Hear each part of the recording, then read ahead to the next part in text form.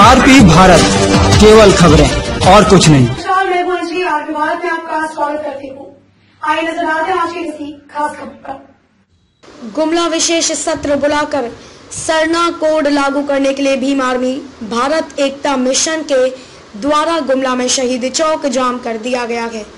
और आज गुमला बंद का आह्वान किया गया है इस दौरान जाम होने से झारखंड छत्तीसगढ़ मार्ग, गुमला सिमडेगा मार्ग, गुमला रांची मार्ग, गुमला लोहरदगा मार्ग तीन घंटे तक अवरुद्ध हो गया है।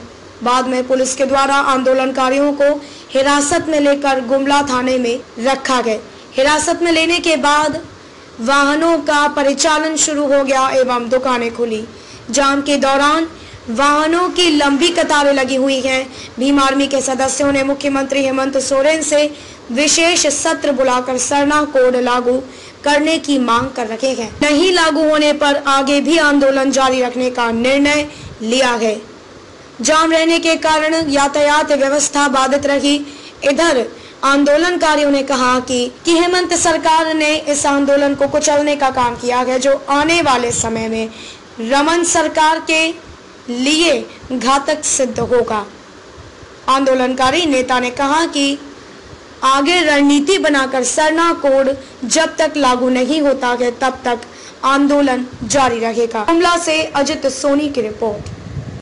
देखिए हेमंत सरकार जो है, हमारा आंदोलन को कुचलने का कुचक्र प्रयास कर रहा है। ऐसे में आने वाला समय में सरना कोड लागू करने के लिए, जोरदार आंदोलन करने के लिए दिशा संकेत आने वाला समय में हम लोग विशेषकर गुमला जिला में और राज्य में समीक्षा बैठक किया जाएगा।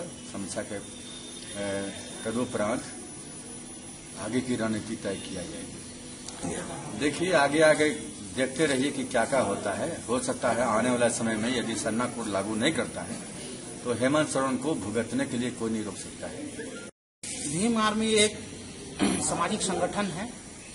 और हेमंत सरकार के द्वारा सत्र बुलाने के बावजूद भी सरना कोड लागू नहीं कर रहे हैं।